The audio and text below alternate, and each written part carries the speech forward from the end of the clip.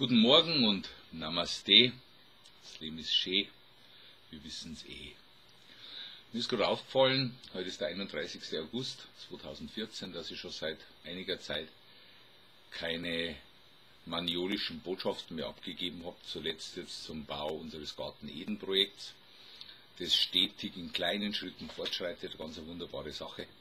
Und wir haben hier einen wunderbaren Akupunkturpunkt für diese Erde erschaffen mit 33 Metern Durchmesser, von dem aus mittlerweile Wellen nach Niederösterreich gehen, aber auch nach Kathmandu und bis in den Gazastreifen und das sehr und das ist wunderschön. Und der Grund, warum ich mich heute an diesem Sonntag, wo unser Dorffahrer verabschiedet wird, an die Facebook-Welt und die YouTube-Welt wende, ist folgender, weil ich festgestellt habe, dass immer mehr Menschen ähm, tatsächlich glauben, so zum Beispiel mein Vater, sie glauben zu wissen, dass es keinen Frieden geben kann, weil es ja noch nie einen Frieden gegeben hat, zumindest in ihrem jetzigen Leben, in dem sie sich daran erinnern und in dem, was sie täglich im Fernsehen so konsum, konsumieren im Hirn.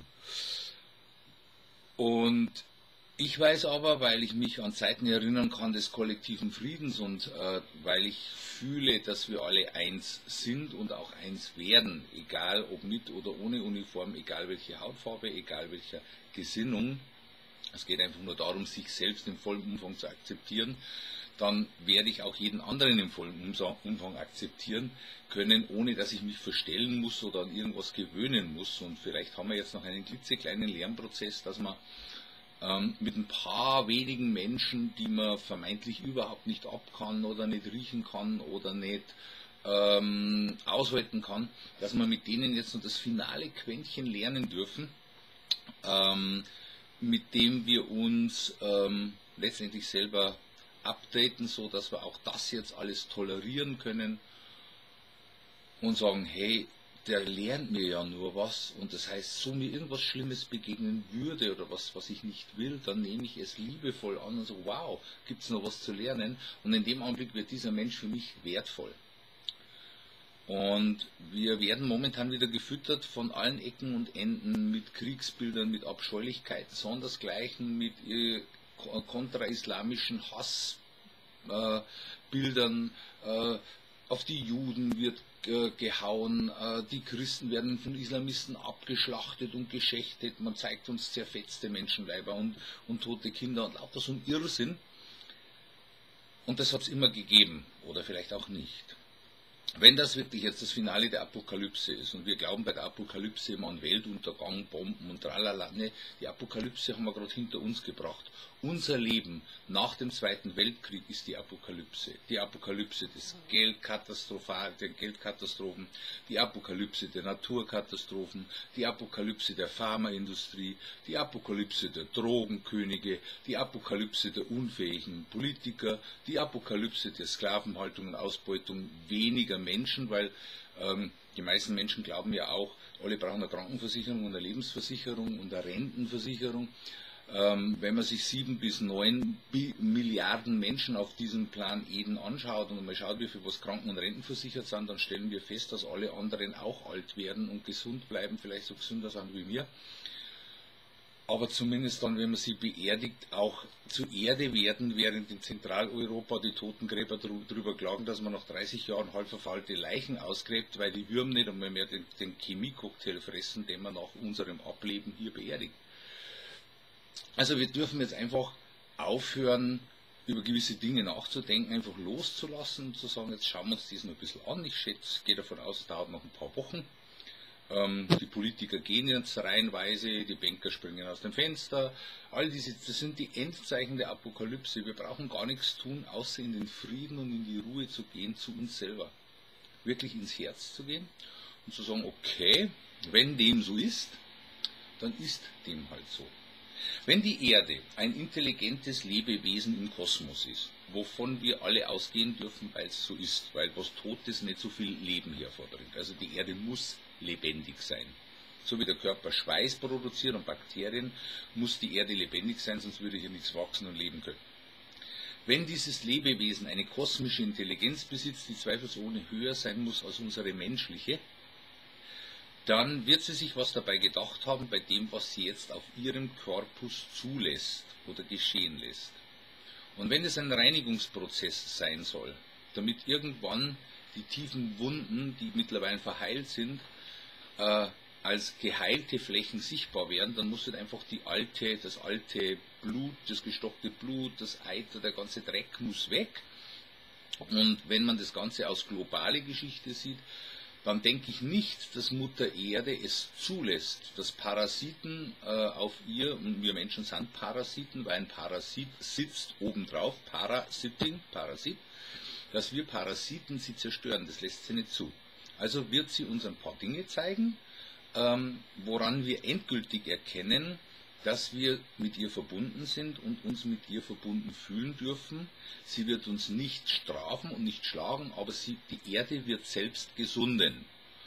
Und wenn die Erde beschließt, so wie wenn ich beschließe, ich sage, ich habe jetzt da irgendwo ein Bakterium und beschließe jetzt zu gesunden, dann nehme ich das Wissen zu diesem Bakterium auf, das die Erde aber schon besitzt, gehe her, nehme an, was ist, lerne es zu lieben und verabschiede es in Respekt, indem ich zeige, indem ich gelernt habe, was es mir gezeigt hat. Und jede Schuppenflechte geht da weg, jeder Pickel geht da weg. Ich kann jede Zelle von innen her reinigen durch Bewusstsein und Bewusstheit. Und die Erde ist halt nicht bewusstlos wie wir Menschen, sondern sie ist sehr bewusst. Die Erde ist wissend.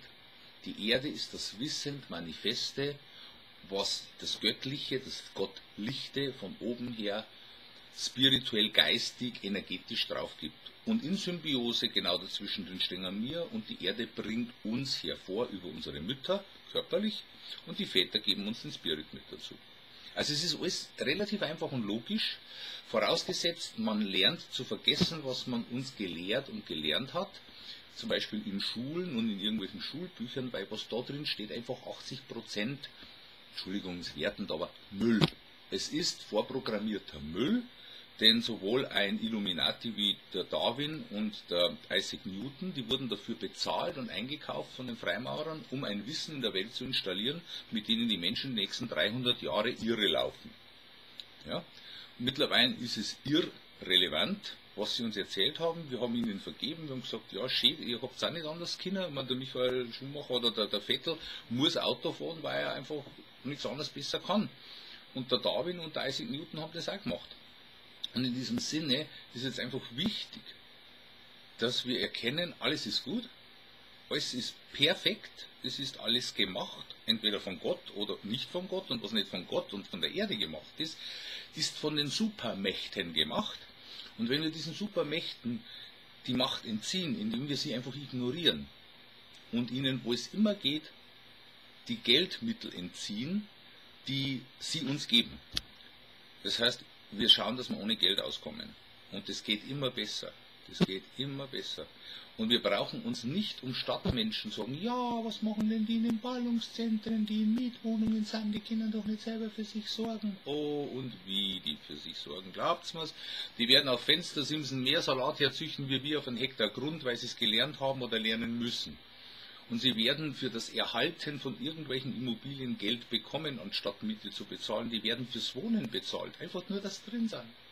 Es ist nur eine Frage, ob wir unser Denken wenden können und erkennen, dass man, dass man es uns eingepflanzt hat und dass das Wachstum dieser Pflanze in unserem Kopf offensichtlich was hervorgebracht hat, was nicht natürlich ist und nicht ursprünglich. Und in diesem Sinne freue ich mich, wenn es immer mehr werden, wenn wir immer mehr werden, die erkennen, alles ist gut, man kann mich nicht mehr emotionalisieren, wir können mal die grausigsten Sachen herhauen, ich sage, ja, kann sein, muss es aber nicht. Aber ich tue die Dinge, wo ich weiß, dass wenn ich sie multipliziere, sie andere Leute befruchten, anstecken, motivieren, inspirieren, so dass wir immer mehr werden, die wie, wie Klangschalen zueinander klingen und ein Orchester der Musik ähm, der göttlichen Musik, der, des Erklingens, des menschlichen Erklingens. Persono heißt ja eigentlich durch Klang, äh, ist ganz was anderes wie eine menschliche Person, weil die habe ich abgelegt, ich bin ein Mensch und ich klinge, aber ich bin keine Person mit einer Nummer drauf. Also die Nummer ist auch vorbei, dass Personen abgestempelt werden mit einem Personalausweis. Schmeißt ihn weg, gebt ihn zurück, behält euren Reisepass, wenn es unbedingt einen braucht und werdet Freeman. Dazu gibt es auch einige Informationen, die sehr wichtig sind im Netz, aber da habe ich einige Sachen auch dazu gesagt.